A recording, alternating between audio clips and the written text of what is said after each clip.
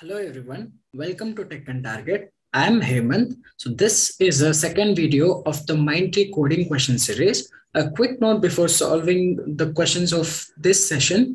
So we have already uploaded the part one of this series as well as the aptitude questions that were asked in Mindtree. So the links of both of the videos will be provided in the description. So please go ahead, watch them and come back here so that you will understand each of these codes easily. So now let's get started with the video.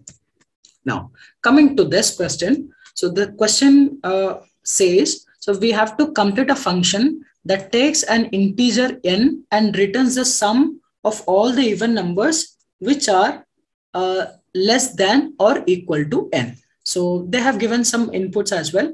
So they have given five and the output of that would be six. And if the input is six, then we have to return 12. Now this is okay, but how we are getting this now? So basically, if the value of n, okay, if the value of n is five, what you have to do? Let's say we will create some variable uh, answer, or let's say the sum for this case, we'll initialize it with zero. Now, what we will do? We just have to find whichever the even numbers that we will get, and we just have to add them to the sum variable right? Now what will be the first even number that we will be getting? So the first even number that we will get is obviously 2 right? So apart from 0 right we should not consider 0 right? So even we consider 0 then that would not affect our sum right? So we will start looping from 2 because that saves our one extra iteration. So we'll start looping from 2 we will go on till less than or equal to the n that they have given.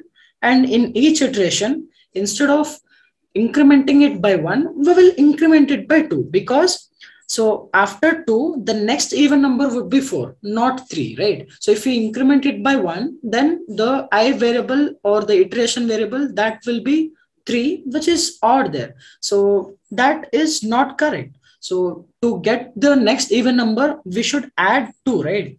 So we should add two to the iteration variable. So this is your for loop and this is your sum variable you will you will update that sum by your iteration variable so this is i is equal to 2 uh, i plus is equal to 2 i less than or equal to n so basically you are just trying to add all the even numbers which are less than or equal to that particular n that they have provided and you will finally return that sum right so whatever the value will be get uh, will be stored in the sum, you will return that, right? So basically, you will directly return sum here. Now, we will see how it runs for this test case.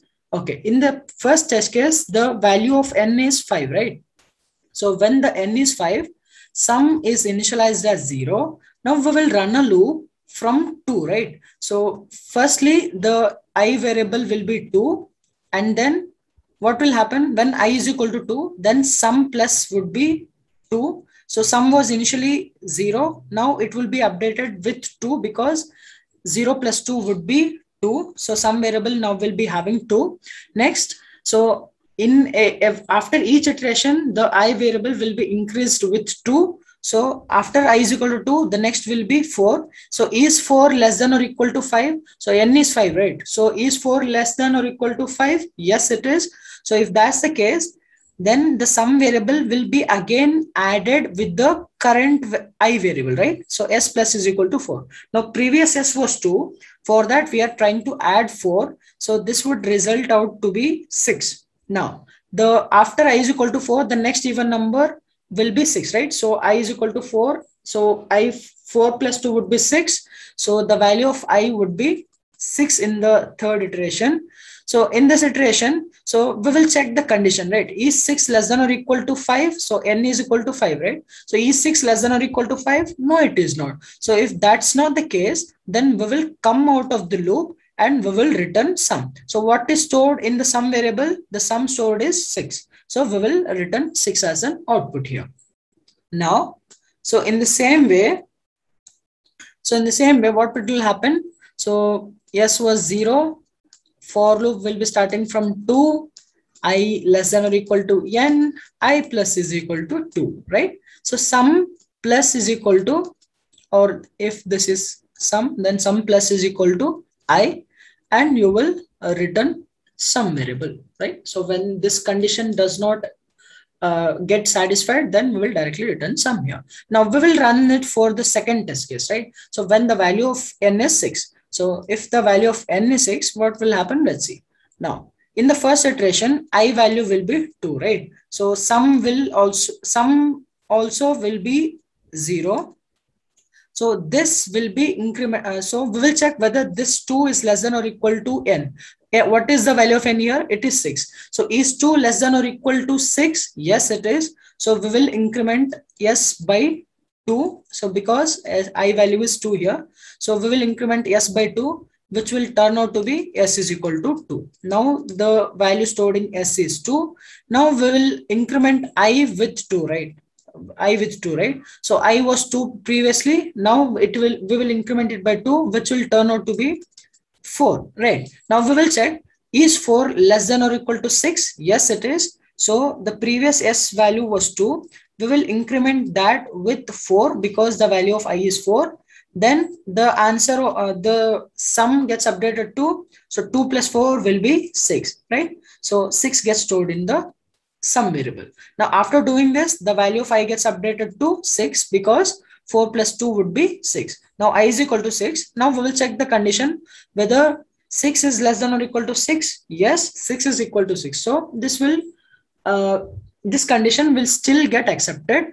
Now the previous value of s was 6 now it will added with uh, it will be added with the current i value which is 6 again. Now the sum would be 6 plus 6 that will be 12 right? Now this will be 12 and i value gets updated to 6 plus 2 which would be 8 now if we go ahead and check this is 8 less than or equal to 6 no it is not. So once the uh, condition gets false then we will directly return sum which is the uh, in this test case is 12 so we will return 12 so that's how we solve it. So we will see the so we will see it in code and we will uh, move for the next question right? Okay so this is the code for this.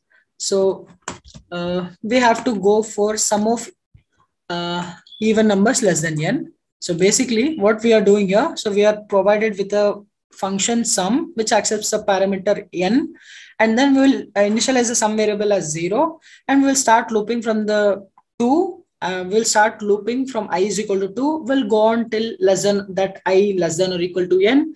And after each iteration is done we will increment it with by, with 2 because if we increment it by 1 then uh, the sum of 1 to an even number leads to an odd number which is no which is of no use to us because we only want even numbers so we will increment it by 2 so that we will get next even number after every iteration. So we'll add, so we will add the current i to the sum at each iteration.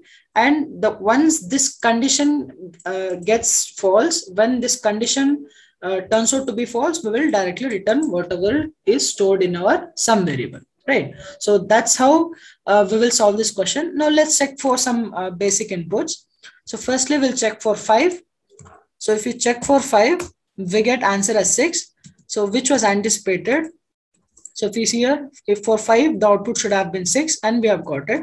And for 6, it should have been 12. So we'll check for that as well.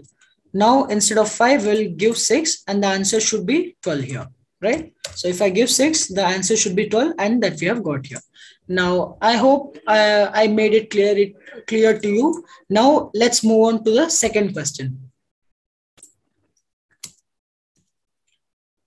Now, we will move on to the second question, which is, so given an integer array and an integer to be searched in it, so we have to return the number of times uh, or repetitions it is present in the array. Okay. We will see with the input we'll see the input format and we'll see uh, some basic examples to understand this one. So the first line contains an integer n denoting the number of elements in the array and each line i of the subsequent n subsequent lines contains an integer describing elements of the array. And then the last line contains an integer denoting the element that to be found in the array. Okay. We'll see. Okay. So basically if we uh, observe this test case here, so the first uh, will be n. So the first value will be n. And next n lines denotes the elements of the array, right? So 13, 20, 16, 16, 19. So this is the array and these are the elements that are present in the array uh, which is of size n, right? So if this is an array, this will be of size n. So in this case, the value of n is 5. So there will be 5 elements in the array. And this element is the key element that to be searched in this particular array. We have to tell how many times it is present in the given array, right? So that's what we have to do here. And coming, okay, now in this test case, if the key is 16, so we will count how many times this is present in the given array. So, so we will, what we will do is we just run a loop and we will check at each iteration, at each iteration whether the value at that particular index is equal to the current key, right? We will check whether the uh, element at that particular index is equal to the key. If that is the case, we will increment a count variable or if that's not the case, then we will ignore that, right? We'll go for the next iteration. Okay, so using that approach, what we will do in the first iteration, we'll check is 13. Okay, firstly, we'll initialize count variable as zero. Now we will check is 13 equal as 16? No, we will ignore it. Now we'll check again for the next element. Is 20 equal to 16? No, it is not. So we'll ignore again. So now we'll go for next iteration. Now we'll check. So is 16 equal to 16? Yes, it is equal. So we will increment our count variable by one. Now after that, we'll go for next iteration. Now we'll again check, is 16 equal to 16? Yes, it is. So if it is the case, then we will increment our count variable. Then we'll go for next iteration, which is 19. So we'll check whether 19 is equal to 16. No, it is not. If that's the case, we'll ignore. So after we, uh, you know, exhausted the array, we just have to return our count variable, which is in our case will be two. So we will return two as our answer. Now coming to the second test case, the value of n is 5, which denotes the size of the array. And there will be n elements here. And then the element that we have to search for in the array. Now, the same approach we will apply here as well. What will happen? First, we will check. Okay, so initially we have to initialize our count variable as 0. In the first iteration, we'll check whether is 18 equal to 25? No, we will ignore we'll go for next iteration. Is 14 equal to 25? No, we'll go for next iteration.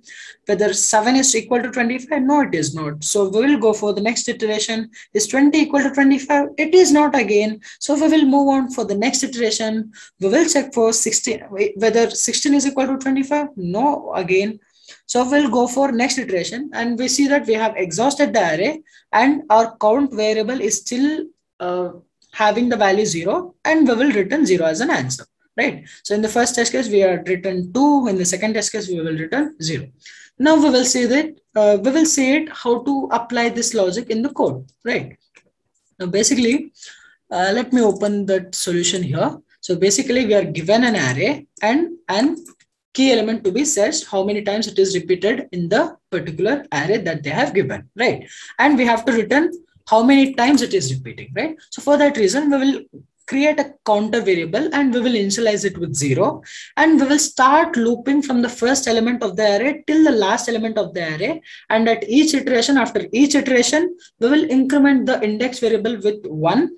And we will check we will do what? In each iteration we will check whether the element at that particular index is it equal to the key element that we have got so if that is the case, we'll increment the counter variable. If that is not, we will directly uh, ignore that and we'll go on to the next iteration. So once we exhaust the array, once we complete the entire iteration of the array, then we will finally return our count. So that's how we do it. Now let's check for some inputs here. Now, if you see, so the first input was, uh, okay, I'll increment, I'll increase the size. So first input was 5, then 13, then 20, then 16, then 16 again, then 19 again, then 16 here. So the answer should be 2. So we will be getting 2 here. Now we'll run for the second test case. So the second test case says 5, 18, 14, 7, 20, 16, and 25 the answer should be zero. And obviously we are getting zero as our answer. So yeah, this is how we solve it. And thanks for watching till the end. So please share this video among your friends. So there might they also might be having Mindtree uh, exam. So it will help them as well, as well as the channel. So yeah, please share it among them. And uh, yeah, thanks for watching. Take care. Bye-bye.